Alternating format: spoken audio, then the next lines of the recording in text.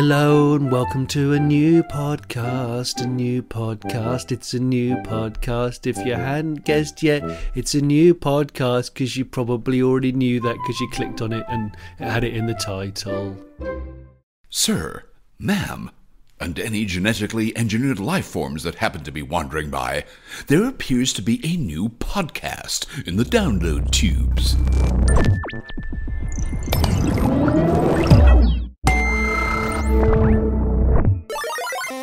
Welcome to the show. Here are a few highlights of what to expect in this behemoth of an episode. Jonny invents an oral recycler. I've got a plant right next to me in my office in the hope that the rubbish that comes out of my mouth will get recycled back into, Into usable oxygen at some point. Robert looks at himself in the mirror. I'd think great face for radio. That's why we're here.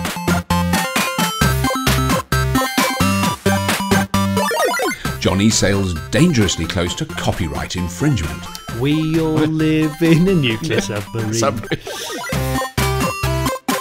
Patreons, you know who you are, and thank you so much for supporting us and what we do. Without you, well, our channels would be shut down and we would be without a voice or visuals. If you would like to support us, please see the show notes for the Patreon links. Now, let's get on with this big, fat, sweaty, very large episode.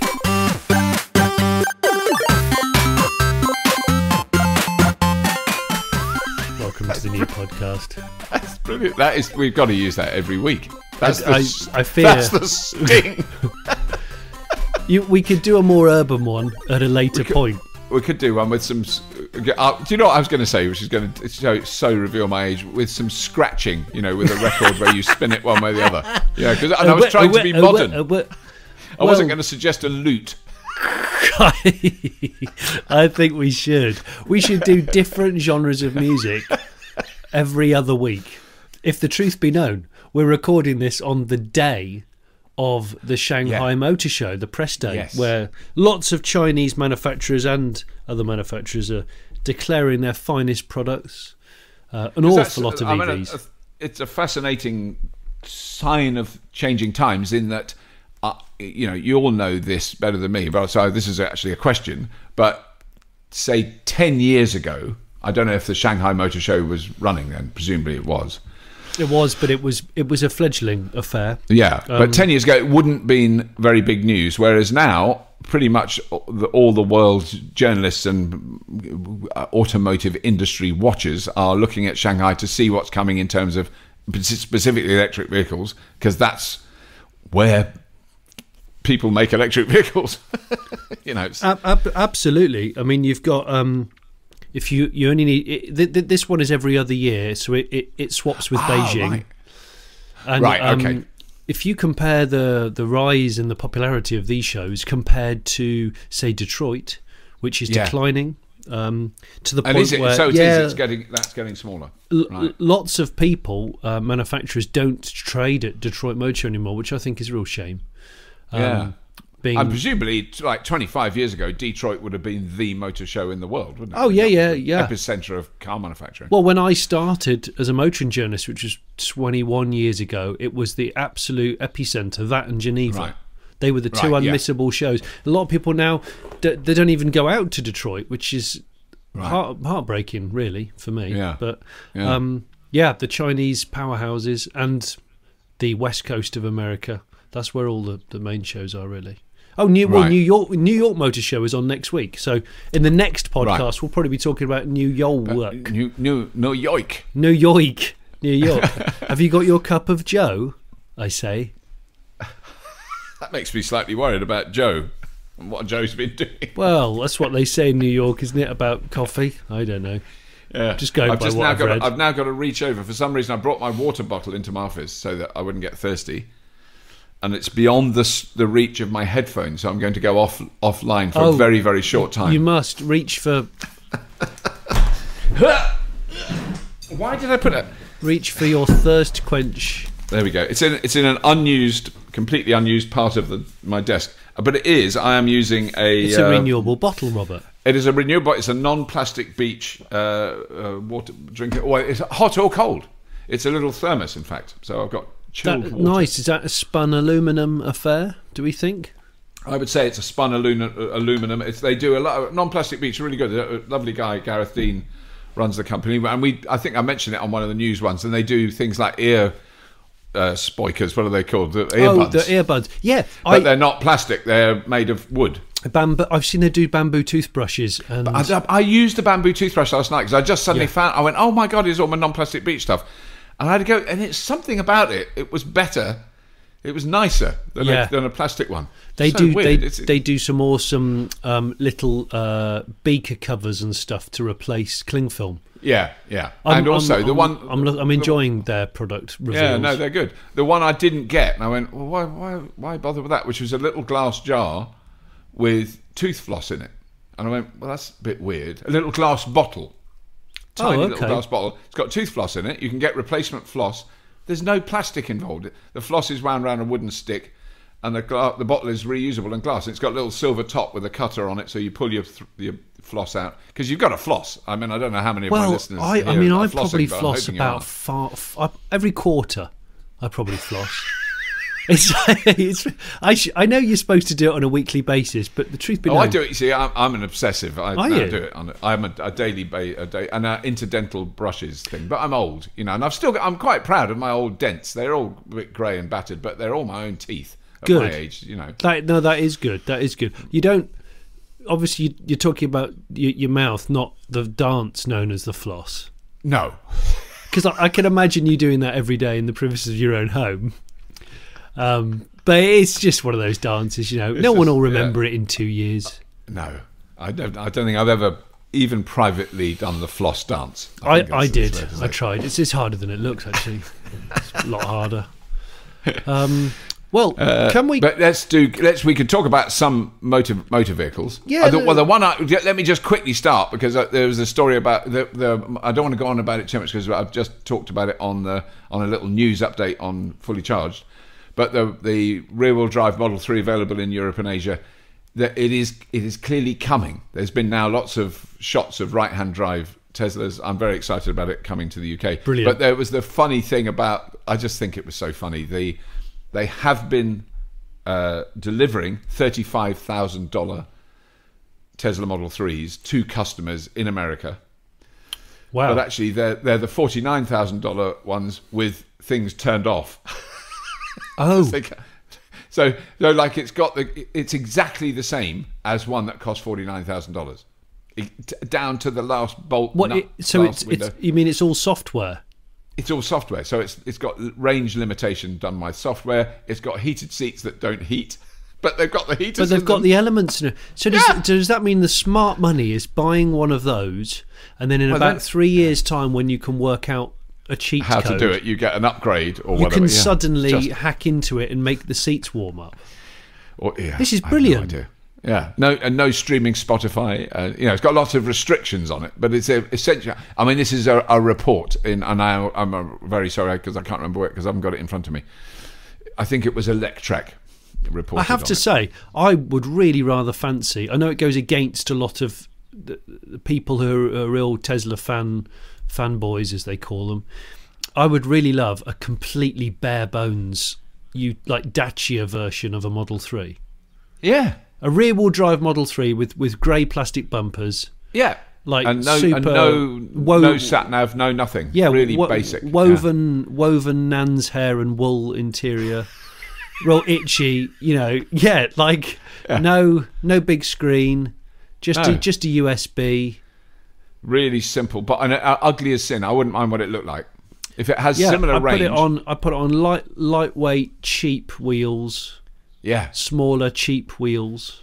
yeah, I'd love that. A proper kind of t- Tesco Basics. yeah. Um, Well, like, I 3. tell you what, the one, the car I've never driven or been in, but I just like the idea of it was the Fiat Panda. Fiat Panda's brilliant. Yeah, You know- I've, ne- I've never never been in one of them. Well, but the- you know, just to see them and it looked like basic. um, You know, the the very early versions, it was really a it was just a metal box with four wheels on it. It wasn't trying to do anything else. It looked like it would be comfortable. You could see Yeah. it would have good visibility. I don't know anything about the car, what it was like. I can car, tell but, you, know. it was one of the. It, had a huge production run, uh, uh, lifespan. It was designed by Right. Giugiaro. It was one of his masterstroke cars, and the early models were, had an asymmetric front grille, which put a lot of people off. So they eventually, the later ones, made them a more Right. conventional grille. If you can find an early one with the offset front grille, oh, Right. Suits you. Ooh. And it, Oh. it's it's one of the few mod cars of its time that had a completely flat wind, windscreen. Yes, I do. That's Like what I a- remember. like a. Beetle. Well, like or like a Land Rover, Or like a Land Rover. like a Defender. Yeah, Yeah. So uh, quite cheap to buy windscreens for. yeah, yeah.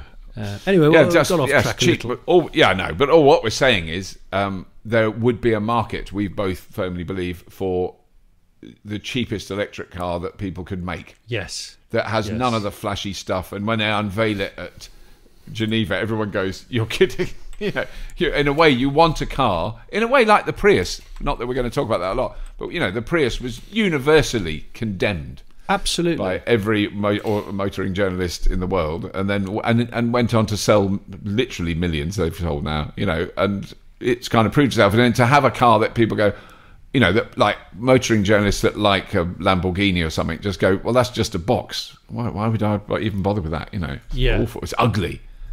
Funny That's enough, kind actually, of what you want. you've reminded me with the Panda chat to um, I need Oh, yeah. to, I need to put my hand in the air and apologise to to viewers, li- re- listeners.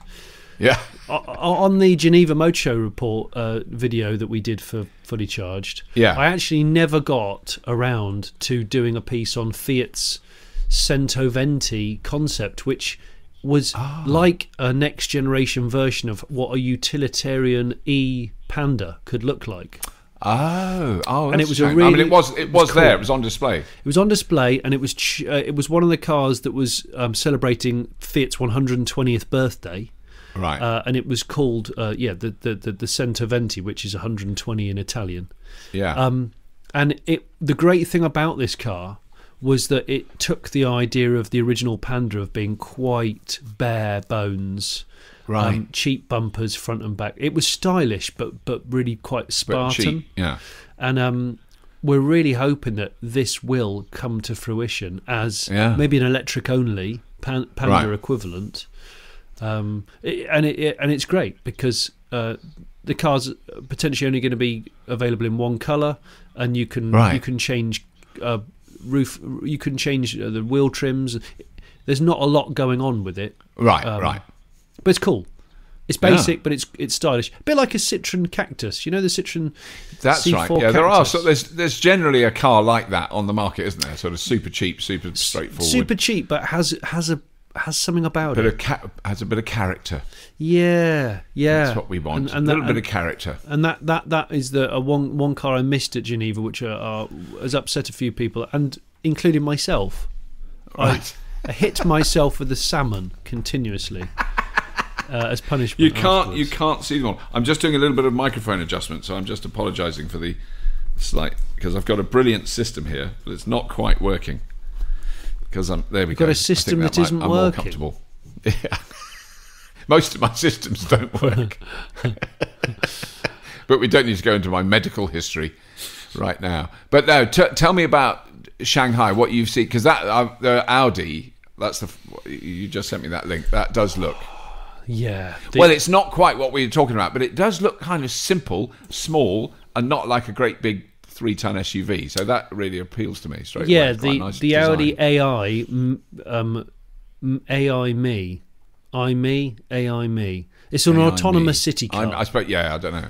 um, oh, so is it, it's meant to be autonomous? Oh, right. Apparently so. Okay. So Well, the, no, I'm the, not. uh, the AI Me it's just been unveiled today at the Shanghai Motor Right. Show, um, and it's uh, it's a city car that would sit below the Audi A1, which is currently the smallest, cheapest Audi. Right, right. Um, and it's like a squat little runabout thing, um, which I like. It, there's hints of Audi A2 about it.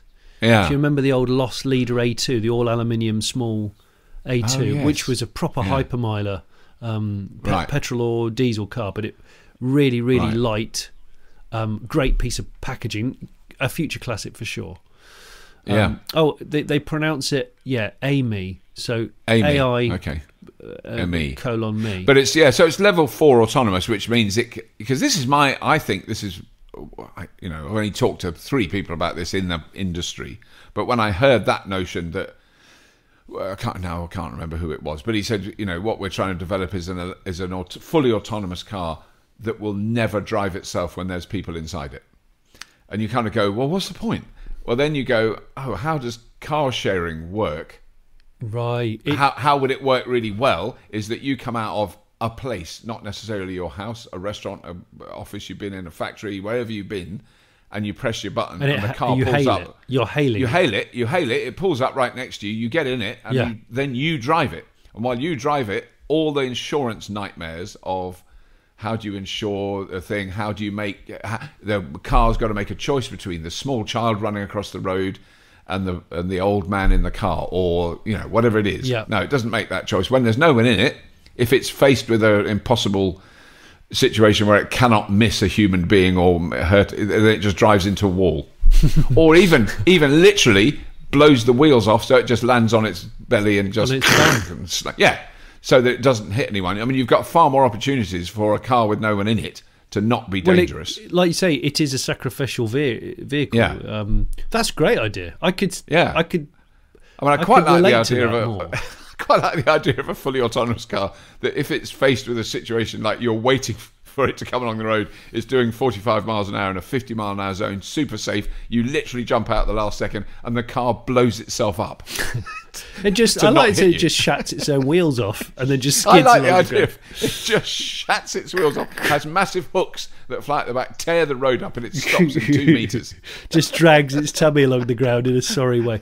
Well, this this thing is quite neat in, in that way that Audis are. It's 4.3 meters long, so it's pretty compact, four seater. Yeah. It's got this bench seat at the back with like a wraparound with wraparound sides. It's got plants growing out of the ceiling. Yeah, the plants. which is. Yeah. You know, a little bit concepty, but apparently Yeah. it's to help reconnect city dwellers with nature and purify oh. the, the air the air that they breathe. Oh well, yeah, That's, well, that's always a good thing. I've got a plant right next to me in my office in the hope that the rubbish that comes out of my mouth will get recycled back into, Into usable oxygen at some point.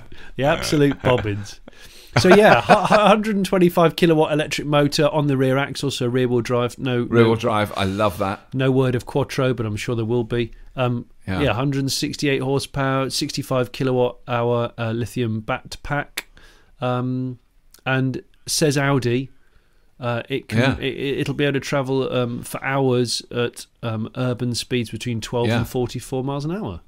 Yeah, which makes a lot of sense. there you go, Audi. It's good. It'd be like you say, it's sort of uh, a lower ranking BMW i3 with extra autonomy thrown in. It's a size Yeah. which is appeals to me more than yeah. the current e-tron, shall we say?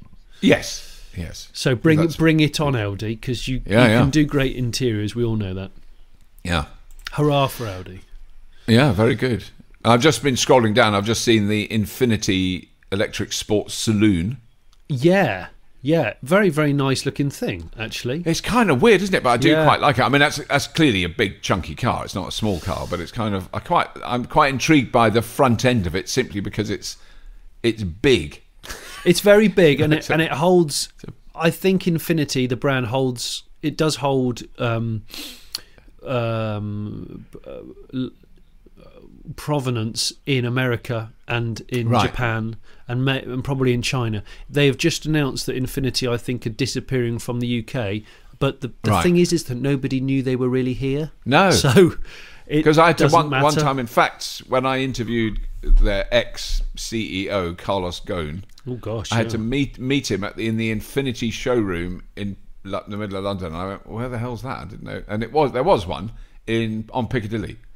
You know, so I've got a flagship showroom, Oh. I, and I'd cycled past it and caught the bus past it forty times in the previous couple of years and never noticed it.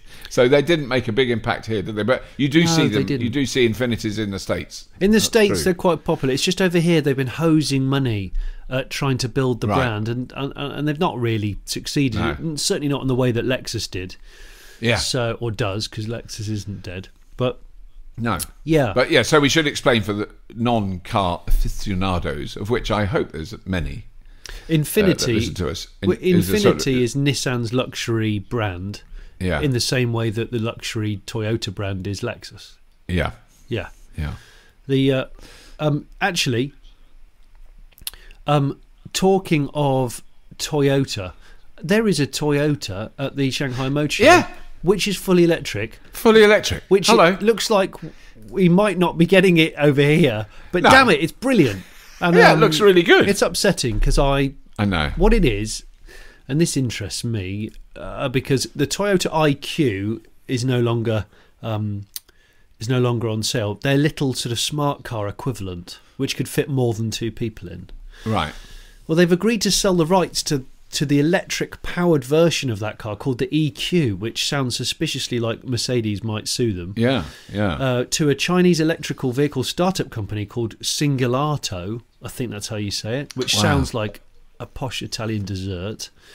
right. Yeah. Singulato, which will market it as, as something called the IC3. And in return, Toyota will have the right to buy Singulato's green car credits under China's new quota system for electrified cars. Now, this is happening a lot now, where brands Yeah. are jumping into bed with one another just to buy their their carbon do-gooding.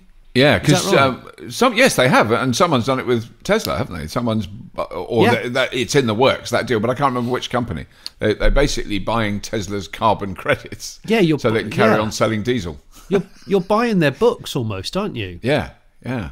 It's bit- weird. Yeah, it is. So this Sing- Singulato um, IC3 Urban Dream Chaser. What a lovely full title that is. that's basically that's what I call myself at the weekends. The Urban Dream Chaser Yeah, will be available to Europeans. Or it will be. The Oh, electric, right, the okay. electric city car, um, yeah, based on the Toyota IQ. The two firms have signed a deal to license the design, giving the Chinese car startup a base for its first model and the Japanese giant experience of the Chinese EV market. It will also Uh-huh. let Toyota buy these green car credits in the future, which could have a big impact on its plans for China. Mm. Production is earmarked for the end of 2020 with a bespoke powertrain along existing IQ parts, including the chassis, the brakes, the steering, suspension. It means the IQ will live on, which I'm glad about because it is Yeah, yeah. a bloody cool car, actually. I, it's a, that I have driven that, and it was a great little car. It was so, that well, it was a bit like the Smart in that sense, where you see it and you go, I don't think I even get in that. no, It's just so tiny and short, and then you get in it and you go, this is like a really big. It's like Oh. getting in a great big luxury saloon car. it's a masterclass in packaging. Yeah, no, brilliant. And um, there's there's going to be some minor design tweaks with uh, infotainment. The motors and batteries are being designed by Singulato. An NEDC range of around 186 miles is predicted. That's what, Right. uh, according to uh, Reuters. That's where I've got that from. But yeah, it, it, it, well, if you if anyone out there ever owned an Aston Martin Cygnet, which was a Toyota IQ rebadged and restyled, and Aston Oh, that's right, Aston yes. bought that Yeah. Because they didn't want to get um, into trouble with the government for making big polluting cars. So this is like this. cars, This is the second iteration of the the Toyota IQ being involved in com- Right. companies. Other, com- other companies. Yeah, it's a cool car though.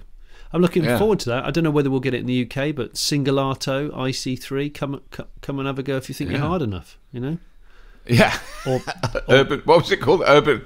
I quite like it's the urban. the Urban I'm just, Dream Chaser. The IC3 I'm just going to, Urban Dream. darling. I'm popping down to the shops of the Urban Dream Chaser. Do you need anything? but don't worry, I'm not going to IKEA because I could get some night lights. you have to get in IKEA.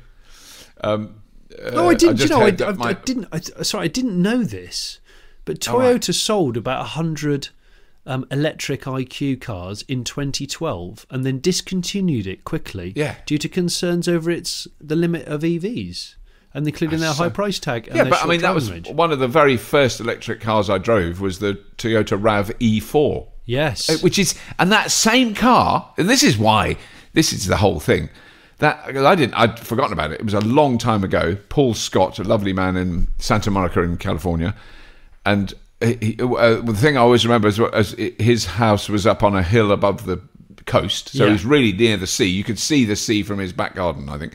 Um, and it went down the hill the, the road and uh, and he said just pump the brakes.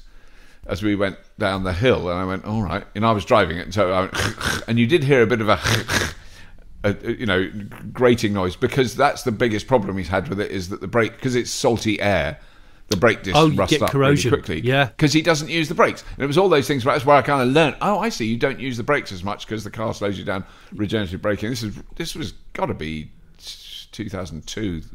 The, he's still got it. It Has it- still works. It's never gone wrong. He's still it's got still it? running. He uses it every day. Yeah, Can you go? Uh, you need to drive it again. I know. Well, when we're in California later this year, we'll have to drop in and see him because uh, he's a solar. He's a solar dude. He does solar stuff. I don't know. He puts solar on roofs. I don't even know. Oh, he's a I think he's retired. He's he's a solar dude. He's Is he an urban dream solar chaser, Dude. He's by a- any He is an urban solar dream chaser. but yeah, no, I mean he's had that cup. But that, in in a sense, that story tells you the problem of of this technology is that it lasts too long. Really, you know, I don't know whether he's had batteries changed or anything. In I mean, terms as of far lack, lack know, of moving parts, meaning less to go wrong, meaning just there's just less to go wrong. Yeah. can live longer. I suppose that the, what you'll find with EVs is people will trade up because of the the chase for a bigger range Yeah. for less cash yeah. and and faster recharge time. Yes, those two things are going to be the big driving Th- th- things. those will be the thing. What will be great is more um, cottage industries setting up to retrofit better Yeah. tech. You know, because I'd love to buy a second-hand BMW i3 for twelve grand right now, Yeah. and know that in the next eighteen months I could take it to an person, and that Yeah. person will go, "Do you want Jonny? Do you want 250 mile range in that i3?" Yeah, and I'll go, "Yeah, I- I really do." And and 350 kilowatt charging. Yeah. Which reminds me, I've just heard from Fastned, uh, lovely Fastned. Uh, they've just installed the. It, it's not officially open yet, but it, people are using it. It's open. Is their Sunderland charging station, is it? the first first Fastned in the country, and it has a 350 kilowatt charger. Three 350. Yeah. Sorry, my phone Is just. that your 350 phone- kilowatt alarm going That off? was my alarm to tell me to have a drink and go to the toilet and check check check to see if Robert Llewellyn's phoned you. Um, it's a bit embarrassing. Never mind. It's happened now. Uh, but yeah, I didn't realise they were doing that because what we saw, the ones we saw in the Netherlands were one, what, 150, weren't they? Uh, uh, the ones at the Fastneds we Yeah, saw. yeah, they were. Yeah, yeah. That's And right. the one I, I, I, I you were used, charging uh, the jag, weren't you? Yeah, and I, I used a tritium. Uh, I can't remember the company. You know, whatever they are, a h- 150 kilowatt charger in Sweden, which did do the fastest. So it, it never got to 150. It got to 142 in the Tesla Model 3. Wow. And 100 142 kilowatts is charging the car at it, it's like 5000 no it isn't it was it was the most ridiculous thing it was like 5000 kilometers an hour if you could if you had a battery that could take that much basically it's going to charge it really quick that's what it's telling you i mean that's Here because comes the that's the one, science. yeah, here comes now. Here, ladies and gentlemen, please listen carefully. This is some hardcore science. But the best way of describing it, and I tried this the other day on a someone who's never knows nothing about electric cars, but they said they did understand it. Three pin plug, five miles an hour. Yeah. Uh, seven kilowatt charger, which you can put in any house. You don't need any special three phase or anything. Is thirty miles an hour. Yeah. Uh, public charger that's 22 kilowatts, which you could would use the same wire in, is about 50 miles an hour. Rapid charger is about 200 miles an hour. Uh, that we have now 50 kilowatts. Tesla is about 400 miles an hour, and all these miles an hour are miles of range per hour of charge. Oh, okay. Miles so- of so range didn't per explain hour of Yeah. charge. Okay, and the then rate a of charge, 300 right. a 350 kilowatt charger is it's over It's a basically thousand, it's, thrust it's over a SSC, thousand miles an hour. it? Yeah, yeah. It's So if you if you had a battery that was big enough, it would give you a thousand over a thousand miles range in one hour, which means it will give you 250 miles range in quarter of an hour. crumbs. minutes. Yeah. But the thing is, it never does that because then you have to go into the explanation because even the if you went if you arrived in your Taycan at the 350 kilowatt charger, literally with it coughing its last electron into the electric motor, so it was Yeah. as empty as you dared get it. You plugged it in. It might take 350 kilowatts for the first five ten minutes, and then it would start to taper off you know, because so it's that doesn't- because it it's just- just pumping it in so quick. it's pumping it in so fast, and as the batteries fill, it reduces the pressure on them. Although, don't you remember, we did see uh, when we were at the Fastned um, offices. Yeah. they said they not- they they noticed that a prototype Taycan was charging at one of their chargers because it was consistently taking 150 kilowatts for way longer than any other car. Do you remember they had yes, a graph? Yeah. Yeah, So- they did, so which, is, which raised their suspicions, didn't it? Yeah, that's what caught their eye. Yeah. Well, talking of Taycan or Ty- Yeah. or Taycan as they Sorry, I've they done it wrong. Taycan. I'm sorry, Taycan. Taycan. Yeah. Nothing, yeah, nothing to do with Liam Neeson. No, Uh, old joke already. Yeah. Um, at, Sha- at, still Sha- milk it. at Shanghai now, the Aston Martin Rapide E, which is their Martin Rapide. Taycan rival, 800 volt Yeah. rival, um, has just been unveiled in its finished form, and uh, looks great. It's the so it's that it's the four door Aston Martin, Yeah. um, the, the revamped version of which is uh, electric, hence the Right. Rapide E, and it's got um, over 600 horsepower. It's going to be made in in Wales in in their new um, Aston facility in St Athan. 155 cars are going to be made. Um, there's some visual differences. The front grille is slightly different to um, to aid cooling and aerodynamics uh, for an EV powertrain, but uh, it looks really very cool indeed. Um, 8% improvement of aero over the old petrol powered car. It looks Aston. It looks very Aston Right. and it's got um yeah it's got it hasn't got a v12 it's got 800 volt power um, battery pack in a carbon fiber kevlar case uh, two rear mounted electric motors combined output of 602 horse 701 pounds feet of torque and um sub 4 seconds to 60 in that 50 to 70 That's- in 1.5 top speed That's quite quick. As that's the one I think is the interesting one because that is something I've you know you when you experience that in an electric car, I think that's more impressive than the naught to sixty. It's the what the 50 to 70 The fifty to seventy is Yeah. is the thing because even my my I always call it the Vickers Tesla. I really shouldn't. But if I'm on the motorway and I'm behind a truck and it's fifty, and I You mash know, it. I mash it. It goes. It doesn't half go. yeah i bet that it still does. surprises me. Four years later, I go, "Oh my god, I forget it does that." You got to be. But the one that I'll tell you the thing that surprised me about this because clearly this is such an exclusive car, and they only make it what 155. They're making. 155 yeah, Yeah. range of but it's got a it's got a six, 65 kilowatt hour battery, which is way smaller than I would have thought yeah in a way for that car. You know, you think the the, the smallest. What's the lowest uh, battery? I mean, that's the same as the uh, e Niro and the It is. it's the same as the isn't it? Kona and the E Niro. Yeah. Yeah, but in a car that's got uh, 600 enormous, uh, horsepower. And yeah. so they've gone high on the volts and they've gone high on the horsepower. So it can charge faster then, I, I would imagine then. Yeah, it can charge um, Does it actually say? I've been trying to find that bit. 100 kilowatts or higher of battery using a suitable charger. So Oh, 100 okay. kilowatts or higher. I don't know how high. I would bet you it's 150. But then it, if Yeah, it's probably 800 volts- 150. Yeah. So um, that car, I'm going to, I'm going to be in it in the next I two two weeks, three weeks. I'm very, Very much looking forward to that. Yeah. Yeah, no. I'm, not often I'm jealous when you go in and uh, in a, uh, when you do one one of your special car things. Actually, special, no, I'm always special car jealous. thing. When special car, but I'm quite jealous of that because I mean it, because it's sort of you know it's got all the the the easy criticisms of all the kind of elitist oh electric cars are only for wealthy people all those things are all verified to the max by this particular car. They are, they are. But but it's still great. I still love it. It's still good. Well, it's it's it's Britain taking it to the Germans with uh, with the Porsche, and I hope that it'll encourage people like Rolls Royce to um, crack on with EV. Yeah.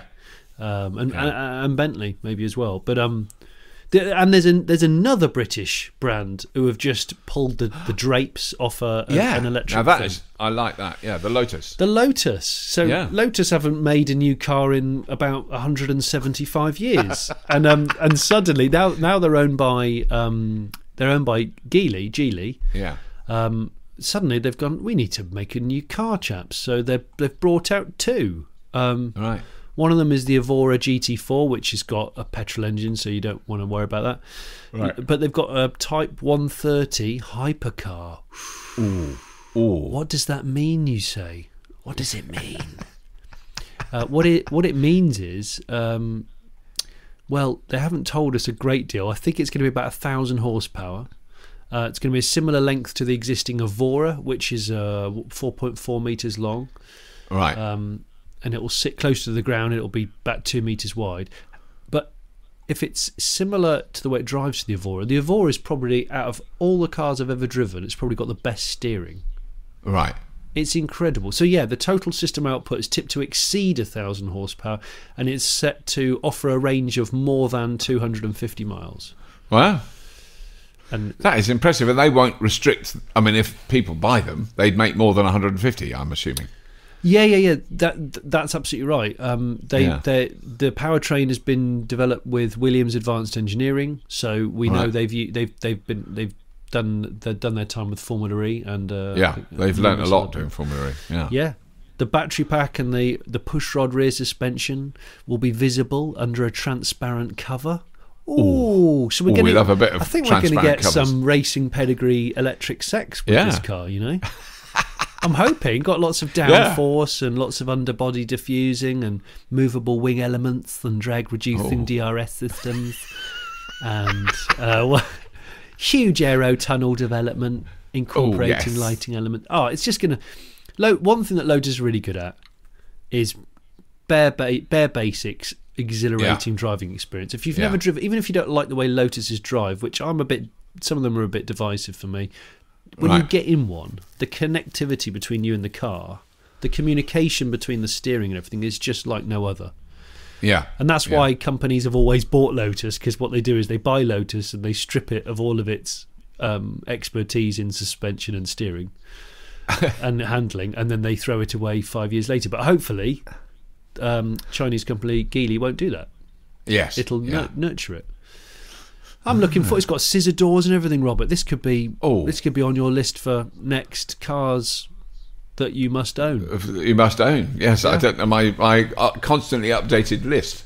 Well, quite exactly. You, you you just don't know where to turn anymore. None of us do. There's too much being unveiled. There's too much. Yeah. Way too much. Um, so that's. Uh, I'm just looking. Oh, that's the Taycan. Take. I can't say it. Taycan. well, it's it's they say. Sorry, I've just found Taycan, pictures of that. You, you can say it however you want. I just I just say taken, but Yeah. I I still think. uh, Let's should we start calling it the Mission E again? Well, I quite like the Mission better. E. I thought that was good. Yeah. Just call it the Mission E. Yeah. The um. Oh, the. Oh. Just having a sip of my water now, but mine's now, within ah, reach. here's a, a question then. So at because you, I'm t- I'm now scrolling madly through trying to find other cars that were, that are in Shanghai, but you, you, I'm just wondering whether Ford didn't unveil their Mustang inspired electric. Uh, not that I no, not that I've seen so far. But some stuff might come out, uh, like well, after this after this podcast goes out. right. Um, there's there's a lot of domestic market only models. Um, for, right. for Yeah, they will be, won't they? Yeah. One of them that, and I don't know if this is going to come to the UK or Europe. I I would love it. Have you seen it? The Ora R1. Oh no, what's that? Ooh, It's a seven thousand pound electric car, which looks like more of a hat tip to the Honda um, prototype, E, e Oh. prototype. Wait a minute. When you say seven thousand pound, you mean as in pounds money? Pounds UK, money. UK old fashioned money. Yes, uh, sterling, pound sterling. A pound sterling. It's- What's it? Sorry, tell me what it's called. Go on, have It's a quick called an, gander. an Ora R1, O R A R one, and it looks Oh, yeah. like um, it looks like the Honda Pro- E prototypes had a saucy night with a smart. oh my god, I love that little thing. Isn't it great? Yeah. Yeah, I would say Honda are quite angry about that. But Yeah. but it's it's one of the world's cheapest EVs. Price starts from less than seven grand once the Chinese government what- that is- subsidies are taken into account. Wow. And they're saying it will travel up to 200 miles on a single charge, but Right. who can say? But yeah, there it is, the Ora R1. It's just been unveiled at the um, the Shanghai show. Wow. Yeah, um, yeah, no, that's good. That's amazing. I love that. Uh, I mean, that's that is the sort of thing. It's basically what we were talking about earlier on. It's really, really simple, Yeah. cheap. You know, not. It's not. No one's going to go. Oh my God! You drive the Ora R1. You must be a sex god. Well, well, who knows? I mean, it depends. Yeah, maybe they will. Yeah. who knows? Sensible people I've, would. I've, I've genuinely never met a woman who is attracted to people that drive flash cars. Actually, No, I mean that is. then I think one of the peculiar things of that. I've only ever heard men say, "Oh, I'd be so embarrassed getting out of that," or yeah, "I want a car that makes me look good." And I Yeah. just go, no, none of them make you look good, mate. Sure. None of them make you look good because you've got Doesn't your matter what it is. breakfast down your shirt and you're wearing terrible And you're wearing loafers. You're wearing cargo pants and slip on. What are those? Slide ons. Slide ons with yellow socks. Sliders. You look like a swimming pool attendant. Yeah, is yeah. And out of condition, swimming pool attendant. But you've just got out condition. of a very expensive Maserati in an Italian marketplace and you think you look like a sex god. And all the women that are looking at you are going, oh, look at that poor fella. Look, he hasn't got a clue. He hasn't got any idea. Does he realise he's got a load of old olives down his front? Yeah. I don't know whether because I'm trying to think uh, it, that like if I was just yeah I'm going to do that. I'm going to fantasize. I'm sitting in a beautiful Italian marketplace and uh, you know having a coffee in the morning and reading uh, something. La a book a novel. Figaro. I'm reading a novel. I'm No, reading that- an Ian McEwan novel. And a, a, a sort of Maserati, a sporty Italian sexy car, pull comes down and, and goes over the cobbles slowly, but with the engine rumbling. Growling over the cobbles. And yeah, and it stops on the other side of the road, and there's some kids on mopeds, and it goes Vroom, and it stops, and then the door opens, and a really stunningly beautiful woman gets out. Now, do I think she is really cool because of the car, or do I think, oh my god, she's just a beautiful Italian woman, um, and she she will think that I'm dirt?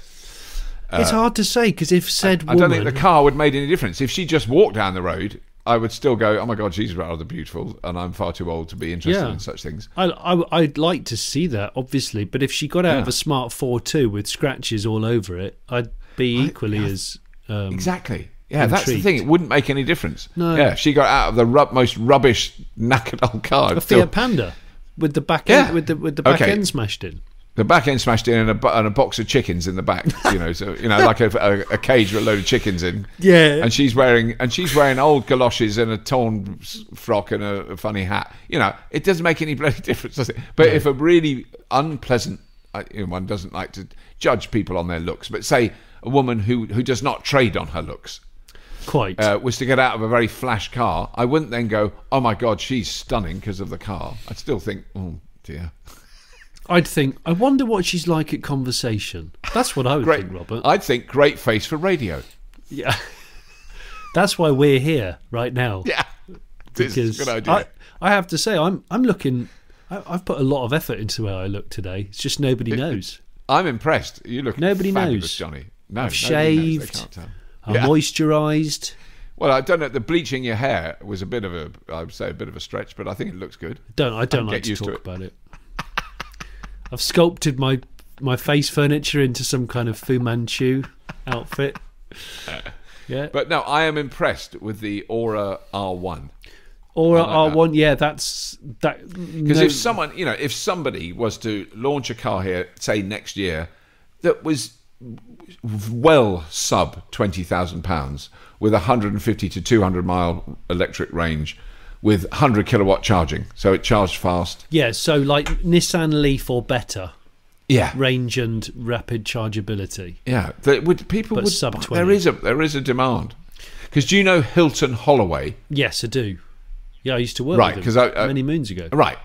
I thought so because he did it. He made his two points. Uh, you know, uh, about this is all to do with the self-charging, self-charging gate, uh, which I really don't want to talk about. But um, and he, he made a really good point was the the the it's very hard to make a profitable car, a profit, profitable electric car at the moment, which I think is a perfectly valid point. I think a lot of car makers are struggling with that. But he said there's no demand for them, and I said I, I agree with the point about profitability, but I know you're wrong about the demand because I really do believe there is greater demand than supply, and that's the that's the big hold up at the moment. Two big hold ups for adoption of electric cars in the UK is la- lack of reassuring charging infrastructure that's Yeah. reliable Yeah, and and lack of supply. yeah, Because if there were, say, a, a shipload of Konas came in, thousand Konas, yeah. they would all be sold in two days. Oh yeah, they would. They absolutely would. Yeah. Yeah. That they were well, and that is the hope of a lot of um, um, brands right now who are about to wheel out good, good, decent range EVs that are that are going to be sub kind of twenty seven grand with with Yeah. you know a, an enormous range, and that's that's the plan. That's totally But then the fine. thing, the thing I don't know about, which I've heard, and I keep meaning to check this out. So this is a very informative podcast, listeners. Because I, Check this out. but check this out. But there is some legislation that comes in next year that will that, to do with emissions. Uh, there's a new level of emissions regulation in Greater Europe. So choose how many countries that involves. Greater which Europe. means which means which means that that uh, a lot of electric car launches are being. uh, that's why they always say coming in 2020 because they know they've got to have a really big list of electric cars in 2020. Now I can't remember what that Is this- legislation is. Oh right, is this little? This will be a low carbon. Yeah, it's an um, endless penalty. tightening up of, of yeah, exactly. So they've got to have electric cars on their books uh, that you can actually buy. I mean, that's you know, this is the dream that this might actually come to fruition Yeah. finally. Yeah, That Um, there will be, you know, that you go into a showroom and the guy isn't trying to sell you the diesel ones that they've got thousands of. He's trying to. They're they're happy to sell you an electric car. You know, that's the. we can hope. I think it, Yeah. it's it's it's, a, It's it's changing. It is changing. yeah, and I mean, and and and the Chinese are, are pushing it more than anything because of because of their rate of development as a country. Yes, They've Oh, no, realised the Chi- so yeah. quickly that they can't keep going like this, which is why suddenly e- the EV situation has been ramped up, and we've got Yeah. cars called things like Leap, L E A P, and like a leap year, Right. um, which is uh, which has just come out uh, like a an electric coupe, and then they've got things that are called Aiways. There's an Aiways car, A I W A Y S, the Aiways U5. It's an electric Wow. SUV that will launch in Europe next year. Wow. There you go. It's six, 65 kilowatt hour battery pack with a range of 312 on the NEDC cycle, which no, nobody uses anymore. No. Oh God, on the NEDC, yes, that's the one that is On the Ned that- that yeah. is- that's the one that's within hundred kilometres accurate.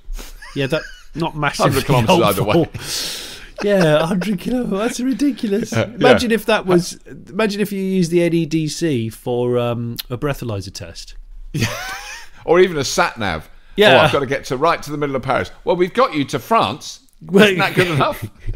Yeah, Well, mo- well, it's actually Belgium. It's near that France. would be great. It'd be. We've got you within 12 miles. Is that okay? Yeah. We don't have any idea beyond here where your where that house you're looking for is.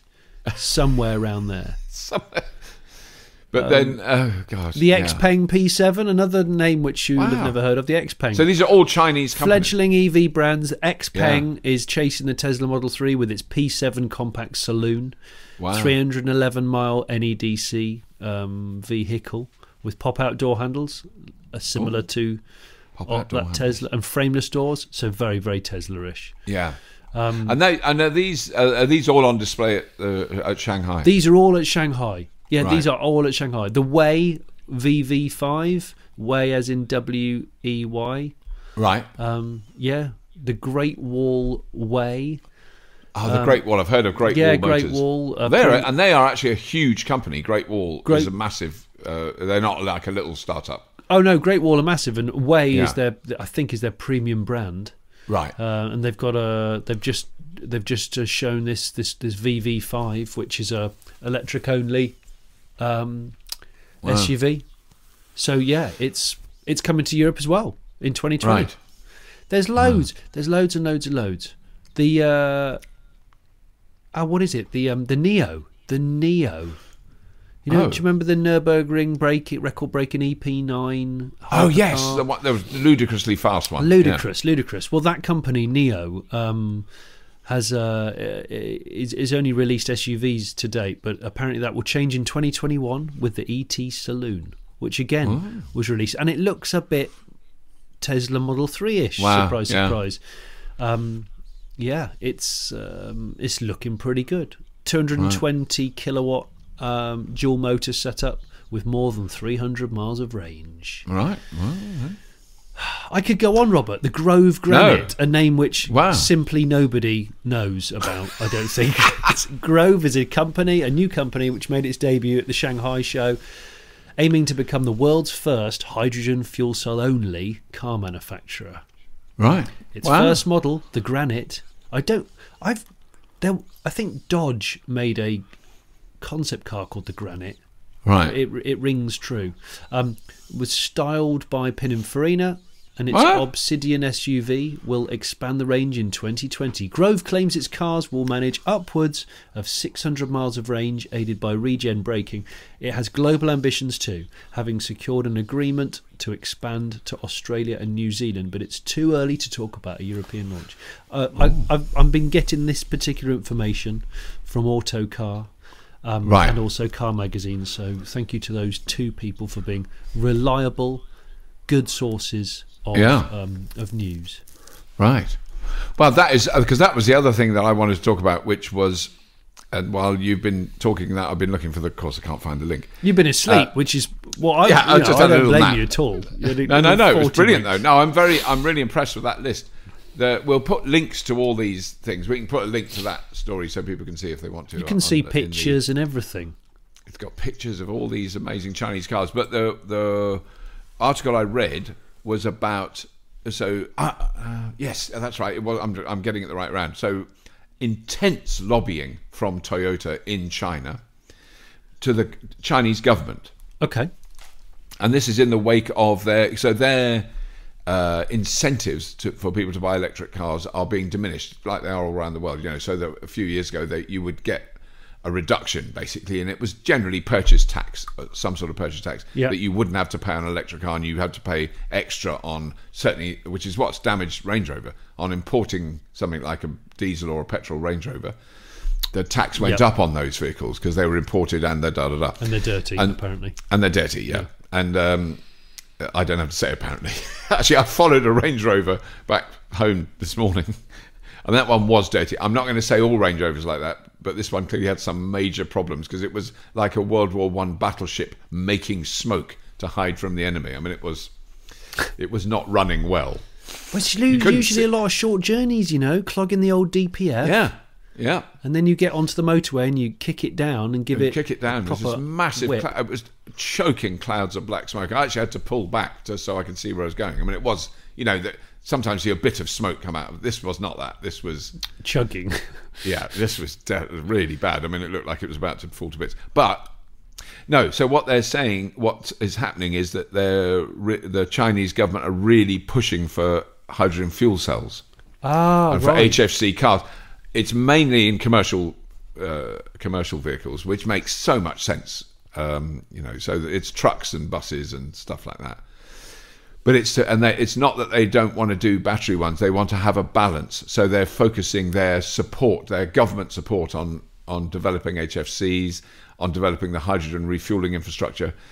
And you know, and I think someone sent me this in in in the sense that I would get, I'd have a rant about about Oh, okay. hydrogen fuel cells. I absolutely the opposite. I mean, I think it's brilliant because it's basically it's not fossil fuels. Well, no, it's clean emissions. Yeah, It's yeah. really yeah. I mean, I'm really you know, and, and and the only problem I've ever had with hydrogen fuel cell cars, which is only at the moment, is the expense because people go, oh, electric cars are too expensive. I'm going to wait for hydrogen.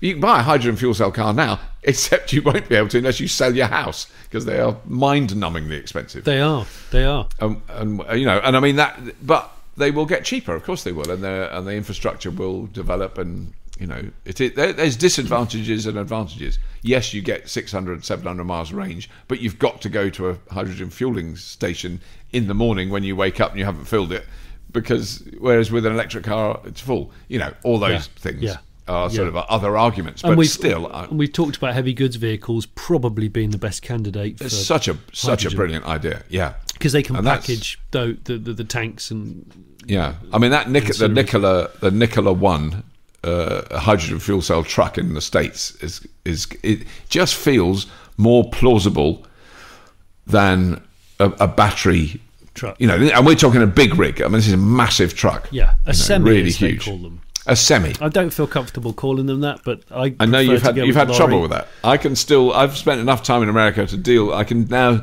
say semi without then just giggling a bit afterwards. I'm still at the giggling phase, obviously. I've just but what about if you live in a semi-detached house? Well, if you uh, there was a song by um, James Blunt referring to a semi by the sea, if you remember, and I always used to always used to think about that that lyrics. Uh, think, uh, well, We've all been there. Actually, uh, I got a lovely tweet from a man who was listening to our last podcast as he was driving, and we might we might have been the cause of a fatality because he he was laughing so uncontrollably at Tuck, Trucker's Tizer. he nearly lost lost control of his vehicle. I love that. It's true though.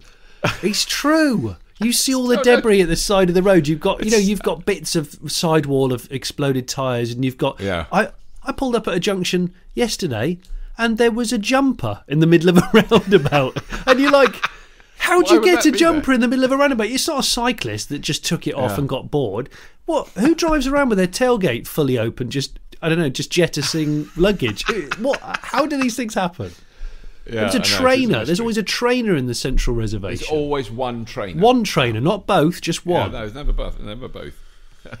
But truckers' ties is the thing. Sadly, it's Yeah. Large No, it's- oh no, I'm of- absolutely with you. I do, it definitely exists. Yeah. yeah, yeah. Um, I want to just do this story because I just think it's, I just like it because it's contentious. But I want to start with, in the same way as I'm not opposed to hydrogen fuel cell vehicles, although I've been accused of that many times. Um, I'm not opposed to nuclear power. Dun dun dun. oh my gosh, aren't you?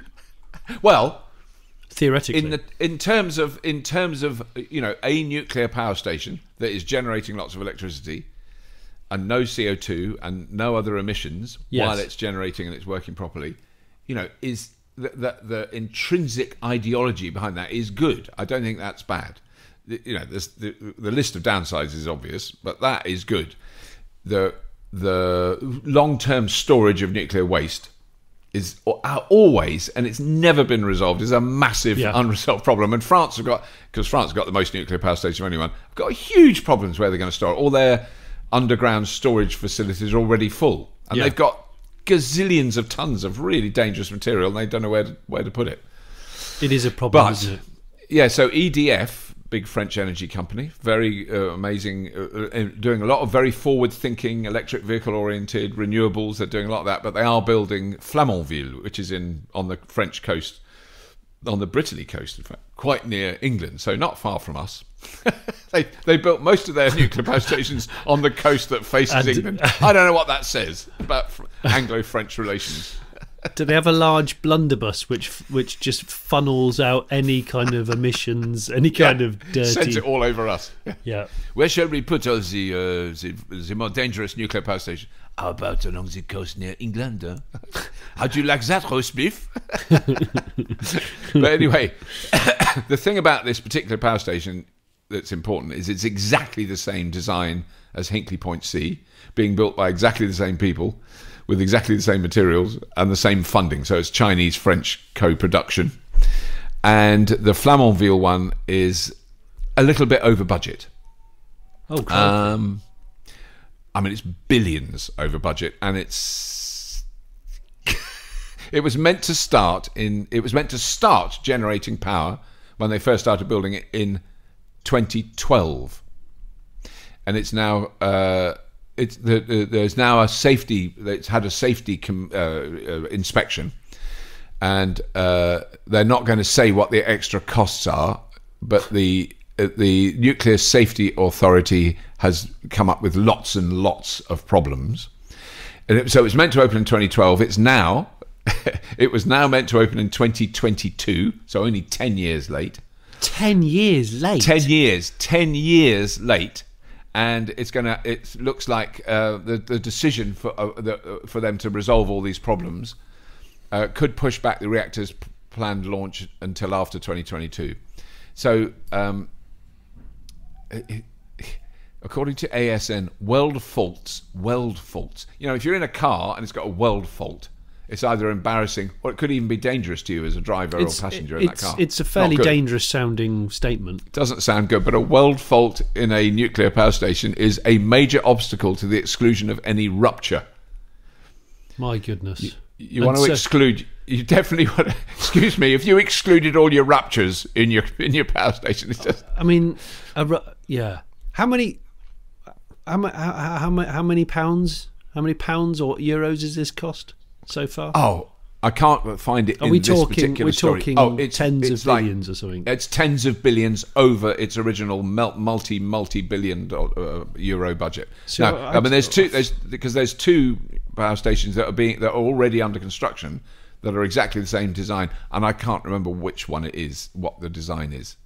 Pressurized, Well, it, uh, it pressurized seems, reactor. It seems to me, based upon that, and I'm no, I'm no industry professional on this, but it seems to me that that that signals that nobody can accurately quote to build Yeah. a new a modern nuclear power station. So, on the basis of the fact you can't really accurately quote, you shouldn't do it. Y- yes, I mean, yeah. do, do you not think? Because at least Well, it is that thing. uh, Well, it is like house extensions or house renewals, and you get a quote from your builder. yeah. And, and he goes, I'll do it in six months and it'll cost, you know, 250,000 quid. And you go, oh, okay, well, it's going to blimey, okay, we'll, we'll manage that. And then he comes back after two months and said, it's going to take two years and cost you a million. Which is, Well, this is, that's the kind of difference. It, that is the difference. You're going to go. Yeah. You're having a laugh. This is unreasonable. You take the guy to court, or the or the female Yeah. builder, if if they're female. Um, I, I'm I'm a bit offended. Yeah, it is, it's I really think difficult. I, it? rather just put uh dozens of tidal and offshore and all many other uh, sources to work. You know, Yeah. that's what that's what's quite depressing about it. It is. It's just. It, I mean, there- there's loads and loads of stories. I mean, I'll post a link to this one, but it's there's loads of stories about that because the other one is in. I always say I have said Norway in the past. And I've been brutally and angrily corrected by Norwegians because it isn't in Norway; it's in Finland. But there's another one that's exactly the same design, and that is further, de- even further delayed and even more over budget. But I now can't remember what that one's called. So that is definitely. It's a- called a- failure, Robert. It's called. It's, It's called, called failure. It's sure as hell not called the Urban Dream Chaser. I can tell you that. the coastal failure. The coastal But, failure. Yeah, is that thing of it's also that notion that what we're see, witnessing in the energy market really rapidly developing is is widely distributed and much wider owned. I mean, that's the thing. The one in you know that, that local people can own effectively a power plant. I'm going to a village in Swindon in a few weeks where they've got a huge amount of solar in uh, uh, uh, both on their like school building, the village hall, in fields around them that the community own, and that is generating uh, Revenue. actual actual revenue that the the uh, the community is actually benefiting from. It has enormous support in the in the local community, and that is such a different model, and it, it, it doesn't require the same. Because the, the the sides of you know an expensive nuclear power station that is easy to forget is the connections. So the substations, the the high voltage pylons that have got to be put in, that cost billions. Yeah. I mean that is a huge cost. It does, to yeah. do that because you've got one centralized massive generator. It's actually only I don't want to say how many, but it's something like three gigawatts. Okay, it's 24 hours a day, winter, summer, all those things, but it's not like I want it to be th- if, for that much money, 300 gigawatts, so that it generates more electricity than the whole country uses. You You're know, right, that's right. kind of In fact, it, the only thing that really tarnishes the view from my house um, to, to, to Oh, the, the vista that I'm overlooking Right. right, now, um, hunched over my microphone, um, is uh, a string of pylons. yeah. yeah. And, and although some pylons, European pylons, are interesting because they look a They've bit got, like yeah, space they have different invaders, don't designs. Yeah, But our Yeah. ones don't. No, and they're everywhere. They're they're, they're really ubiquitous, aren't they? And Yeah. people- but we've got used to them. We don't notice them. But then if you see a wind turbine, everybody goes. They don't actually. Not everybody. Some people get a bit moody about them. They do, don't But they? yeah. But nobody ever says, "Oh, I don't particularly like a pylon." Yeah, But and then also the thing about birds. I I grew up in Oxfordshire where there was a big p- uh, string of pylons near the home, similar to yours, near where I grew up, uh, coming from Didcot Power Station. So huge, really big, major major voltage things. And I used to walk under there with the family dog in the morning, and you'd see a dead swan or a dead duck. Always, it's a really common sight underneath the power line. So they've been flying through that. Yeah, they kill thousands of birds. Well, there's wires that are really thin Yeah. that they don't see, and they hit that when they're flying along, especially a big bird like a swan. You know, and people go on about wind turbines killing birds. They do. There's no question. Wind turbines occasionally kill birds, but definitely much less than power lines, cats. Yeah, Cats are the biggest killers of birds in this country. Yeah. Uh, Glass-fronted buildings. I didn't know that. I've Yeah. spoken to someone in London who's who were terrified because uh, it was actually a seagull flew into the window, definitely died, but it was they thought it was a bullet. They thought it was a gun because it hit the window so hard because it couldn't see it. It was it was glazed with and it looked like sky. Yeah, you know, yeah, the reflection yeah. of the sky on it, so it didn't see it. That's really common. A lot of dead birds at the bottom of big buildings, which is you know a travesty of of human folly. Yeah, But but, it's it's just to because put the less, wind because turbines it's less in- in reported. context. It's, Yeah. it's selective journalism in a way, isn't it? When Yeah, um, a that wind a wind farm is blamed for uh, increased deaths of birds yeah. versus existing issues like pylons, Yeah. uh, like glass Because I talked, I, I talked to someone clever. Oh, at Scottish Power. It wasn't when I was me. at Scottish Power. Yeah. I was going to it definitely was, and it definitely wasn't me into the mirror. yes. But it was um, None of us uh, that, though, But? I said because I'd been on a nuclear submarine when I, uh, you know, for a TV show years ago. I, I loved it. It was brilliant and very nice lunch. We all live in a nuclear submarine. Submarine. It was a nuclear hunter killer. oh, And when I went down from the, you know, like the conning tower, like the bit that sticks up that Sean Connery stands on in uh, Hunt for Red October. yes, yes. Um, I went down the ladder. So it was so exciting to go on it. So it was in a harbour. I wasn't out at sea or anything. And uh, and they, the the man in the uniform uh, with it, who actually had a gun, and he told me that when I got down, I was to turn to my right, and and someone would meet me. So I went down the ladder, and in that time, I forgot which was left and right. So when I got to the bottom, I turned to my left. I mean, I was turning round to face the captain who was greeting me at the bottom, which was all very civilized. But when I turned around, a bloke opened a door and went, "Oh, Robert, I love Red Dwarf." And, and what he was doing was opening the door into the engine room, which is the most top secret thing that you can possibly have in the world. And Oh. I wasn't meant to see it. I could be tortured by ISIS for a year and I wouldn't be able to. I saw some white pipes. You know, I didn't see anything. But anyway, so that was quite. I really blew I've it seen some but- white pipes. but what that is is a nuclear. Uh, it's a, a small nuclear power station, It is, effectively, because that submarine can stay underwater for six months with a full crew of over hundred guys. It, it produces light, it cleans the water, it cleans the air, it does all that stuff. Massive amount of energy. That is amazing. So why can't we have those? And I said to this guy about that at Scottish Power, and I said, why, you know, the, why don't we just bury one of those in a big container outside a new housing development? It will it will run for thirty years. You don't have to do anything to it. It's generating gazillions of kilowatt hours of electricity. And he said, have you ever looked at a military? Uh, you know, like a Ministry of Defence budget, and I said, "Well, no, obviously not." And he said, "No, nor has anyone. no one knows how much that costs, but believe me, it costs a staggering amount of money Oh my goodness! to to build that. I mean, it would be many billions, you know. So um, I love the But, idea you know, of burying a submarine just outside, Yeah. you know, in inland.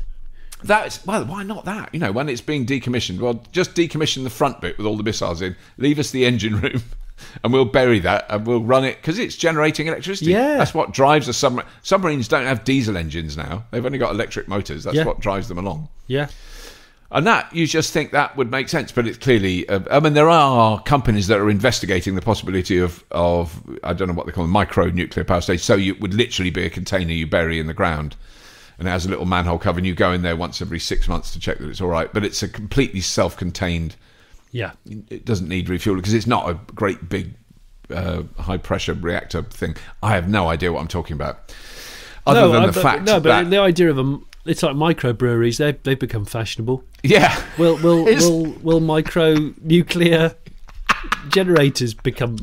The, Can we equate the economics and the environmental impact of microbreweries uh, with micro nuclear power stations? I think that's it's- I'd like it's to see a paper, a study on that. It's I'd like a inevitable. study. It's Yeah. inevitable. It's going to be great. Love it. Oh, oh, But now, oh, my I'm last checking the- question is. yeah, no, last. 'cause I'm just I know checking we've been talking done- for frigging have. ages, haven't we? yeah. My last question is oh, I'm researching timber framed houses. Oh, Now, I wanted to know is that, do we regard that as one of the most eco responsible, friendly Yeah. um, ways to, to, to, to, to build a, um, a durable house these days? I think I think it's viewed generally positively, and I'm sure we're going to get comments to explain why I, that I- might not be the case. I, I welcome comments on this one. I really Yeah. do. Yeah. But the uh, but the the notion being that uh, if you use you know, I mean, what's the alternatives? Are clay bricks or build uh, blocks, Yeah. cinder blocks, or you know, there are because there's some stuff being developed now, like for instance, carbon capture and storage, which is a very disputable and questionable technology. But one of the things you can do with that is you can encase that carbon in a in building materials. Right. Okay. So you could almost it's a, and how that's done, I don't know, but that you know, it, it's it's basically a carbon building block, uh, uh, and I've uh, you know that has been tried out. I think they have been produced, but I don't know how economically viable they are. But the idea, with, if you use timber, obviously you can grow more trees. Right. okay. Yeah. um, So it's it's absolutely dependent on the source of the timber and how it's done. And there are, I mean, there's I think there's plenty of good arguments about the destruction of the wild the wild environment. So people like George Monbiot rightly are kind of kicking off kicking off about that we've turned the entire world into an agricultural landscape, even if it's we're growing trees. So some of the big forests Yeah. have all been planted to produce wood. You know, so uh, from a kind of CO2 environmental out, uh, impact uh, uh, thing, it might be better, but from a natural world impact. So if you've got 70 million acres of identical trees planted in rows, which exists certainly in um, along that Scandinavia or Scandinavia, you know, a huge amount of it, and they're producing millions of tons of wood. But there's like three bird um, species that can live there, uh, as opposed to the, what would have been in the natural forest five thousand bird Hundreds, species. So yeah, you know, yeah, yeah, yeah, yeah. yeah, So I mean, I think it's a really because I mean, my house is wood, and it's you know, it's it's I mean, it's really easy if you want to do an alteration. Because when we moved the wall to put the fridge in, I just got a saw out. sawed the wall away.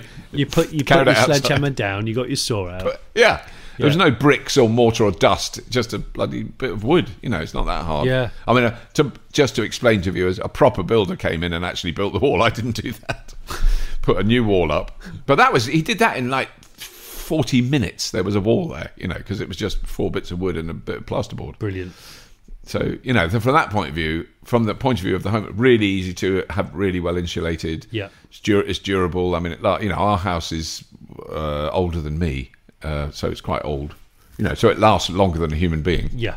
Yeah. And our wooden, I mean, even shingle roof. You know, that is uh, Canadian cedar. Our roof is from Canada. Is it? Yeah, ce- cedar shingles from Canada, and they they the ones on the back are coming up for forty years old.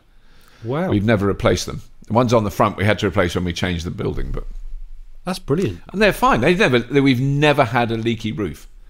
Everything else is leaked, including me, But not the roof. But not the roof.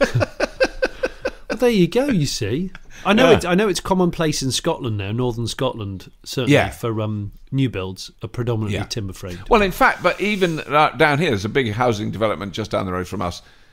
No solar panels, no ground source heating. You know, uh, uh, you know U- like usual bobbins, yeah. usual bobbins. But the, all the houses are timber framed. They skin them with stone. Yeah. But the actual frame structure of the house is timber. I mean, it's the most common. So less concrete, less cement. Yeah, so it's certainly less. Con- I mean, and, and if you clad it in timber, which are like ours is, then you don't build a stone external wall. yeah. Then very, I mean, you've got still got concrete in your foundations and all that stuff. So there's still an impact from Yeah. that. But But it's lessening. The, it's the lessening, and. I mean, Yeah. it also, you know, there are there's great alternatives. I mean, there's amazing uh, new uh, architects. There's a guy I'm meeting soon. Actually, I'll put you in touch with him, Jonny, who's done, who won a prize, and I don't know where the house is, but we, we I've been told we can go and see it. He won a prize for the most eco house in the world. You know, it's the lowest impact. Least, you know, whatever all the materials used, it's it, yeah, and its energy use is it, from the grid is effectively zero.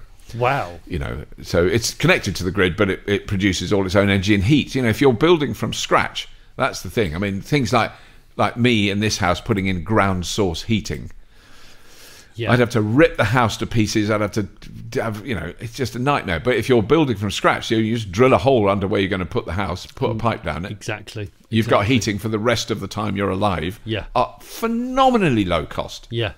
you know, uh, And that's and that way, and the the increase in the construction is really minimal. Yeah. it maybe adds ten percent to your total construction budget. So that's what granted. I mean, that's my gripe now because I having spoken to a guy in Australia who does these sort of houses, and he, he said, "Do you know Ke- Kevin McCloud?" And I said, "Well, I've met him a few times. He's a very nice guy." He said, "I hate that show." I said, "Why?" You know, of came out of the blue because he's really kind of nice bloke. And he said, "Because he never does anything about the carbon impact of the building, Of the of concrete, the uh, polished and the concrete. concrete, and the and the, but also the energy use once it's built. There are always massive houses built by wealthy people who've got a million quid to invest in a huge, you know, it might be architecturally stunning, Yeah. but they don't. And I and I kind of argue. I said, I'm sure he has because he did do. Uh, uh, He's done some budget builds over the he's years. done some budget Maybe builds. less Amazing and one in the woods, now. yeah, but it, it is generally big, great big steel Frame. There's not a lot of people in tie dye built making walls out No. of old car tires filled with mud anymore. No, Which I But there used was to a guy. that- actually, the most recent I watched, which I don't think is a very new one, I thought was, was on catch up, was was a lovely guy that just spent. He just liked building. So you know, when do you think it'll be finished? Oh, soon. And it was like it was filmed over like 15 years. and in the time they were doing it, he had young toddlers when they first went there. And Kevin McCloud had a full head of dark hair. By the last one, the the kids had grown up, had children, moved out. Gone, he was, yeah. he was still building it. Was he? But it was a stunning, stunning building. I mean, that was big, but it was timber, and it was all recycled timber that he found. Uh, you know, it was, it was, and every bit of it was kind of found objects and repurposed and beautiful, stunning Brilliant. place. Yeah. It's a labour of love. Yeah, they do. It's do a that. life so project. That guy was, yeah, Kev's cool. I'm not going to diss Kev. No, no, I've got time. I've got time for the McCloud Yeah. for sure. He, And he likes ele- he likes electric cars, so he, he, he does no wrong in my book. there you go. Yeah. I could see him in a a Fisker Karma. I could see him in a Fisker or I, I can see him in a Rivian pickup. Oh. Oh, you'll see one on Grand Designs in the next two years, won't you? If I wa- if I turn on Grand Designs one night, bit depressed, winter, and there's Kevin standing and he going, "I've come over here to see this beautiful building that this beautiful young couple are making," and then he walks away and it's a Rivian. I will twist up myself in envy and bitterness. You'll and spit at this flat screen telly, won't you? I will. And then have to wipe it off because it's your own telly. Just for a second, it will have seemed worth it. Yeah, and my Mrs. Judy will say, "It's not about you or the car; it's about the house. So just get over it." Yeah. Yeah, but he's got a Rivian. You might have one by then. Who knows? Yeah, I do. Never say never. Okay. But we've got to say goodbye because we've been going on. I'll tell you what I've just realised, Jonny, that we, before we started this, ladies and gentlemen, we were going to talk about you fully, said charged, you, fully charged live at the top of the show. you said we're going to talk done- about it at the beginning of the podcast, And we have gone on like a couple of old. like people in care homes Yeah. with no particular agenda. I'm waiting for my minestrone soup Oh yeah, on a tray. Oh, a soup and a roll. Oh, soup in a roll would be just the thing. Um, but we just wanted to quickly mention. We're, men- we're going to mention it a lot more because it's it's it, it's basically getting exciting, Jonny. This is the thing. Yeah. Okay. I'll, I'll do a, a brief history. So we we we're, go, we were always going to do fully charged live in June. And then there was a period of time, I think it's fair to say, where a lot of businesses in the UK were a little reticent to commit to anything because of various uh, political Brexit.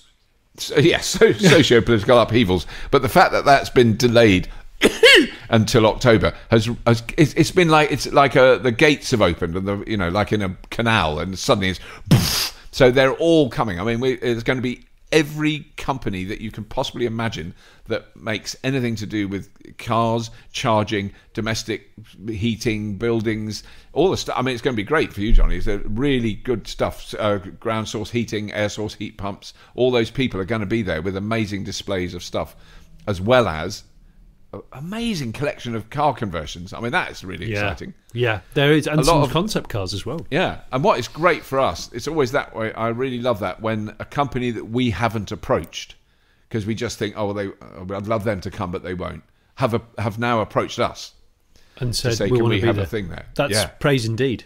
yeah. Praise indeed. So it when is it, be- Robert? Tell me. I just can't remember. When is it? It's on the seventh, eighth, and 9th of June, and it's going to be huge. I can't wait. I'll be It's- there. I, I'm looking forward to it. You'll probably be there. I will definitely be there. Yeah. You might just All pop your head time. around the corner on the Sunday. Yeah. How's it gone? Everything you all right, enjoyed it? guys? As you were then. Good afternoon. Yeah. Have you enjoyed it? Yeah, thank you. Thank you very much. Good night. No, no, I'll be there the whole drop. time. I'll be there the whole time. No, it'll be good. No, so that's so uh, the, we'll put a link under that, but it's at fullychargedshow.co.uk forward slash live. I think is the web page, but something if you look for fully charged live in your search engine of any Yeah. sort, it will take you there. And thank you, everybody who's been listening to these podcasts prior to this. Um, as you probably know already, they go out every Monday. Yeah, Uh, so we do We've- we do this we've level managed of to keep chat them going, every week. yeah. You know, they're not always quite as long as this. this is a long one, Robert. Yeah. Unless it gets edited down. yeah, But uh, it, it's a long one, so I apologise if people are really, really bored by this point. But I've learnt I've learnt some stuff. yeah, me too. Yeah, no, the the Chinese cars is that is very. I could talk about Chinese cars for too long because I think it's really interesting how that whole. We must stop, but you know how that whole focus of how that what they're doing in China is sort of a mixture of terrifying and amazing. It's the rate of development.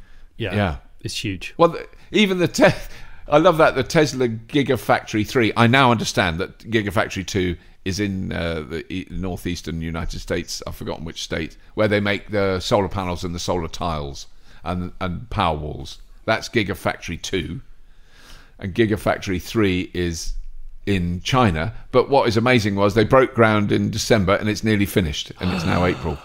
Whoa. And it is it is a massive building. I mean, if you were building a shed in your garden, fair enough. It's not going to take that long. But this is this is a building that would house your entire town. It's that it's it's massive. I, want, I might so get a fast. quote from them to build a house. they would do it. Yeah, for an ordinary house, the Chinese guy would come over. Yeah, uh, yes, we'd like to build a house today. Six six What? weeks. No, not today. Uh, tomorrow. We want it. No, take me today. Oh, okay. Well, we'll just Yeah, we'll sit in the garden then. if That's all right, and just look at it and wait. Just watch it. Watch it arrive. Yeah. yeah, while you wait, why not? Four hundred Chinese workers would put it up in two days. Just click and collect. Easy. But anyway, we've got to stop now. We've gone on far too long. But it's been great fun. Uh, thank you very much, Jonny. It's been a delight, as always, Thank you, uh, Robert. to the, chew the vegan fat, Absolutely, chewing the cud. Yes. Yeah. chewing these the soya cud. Soya cud. Soya cud. Uh, thank you, everybody. Um, Yeah. It's it's it's goodbye from me. And, and it's goodbye from me too. And if you have been, as always, Thank you for listening.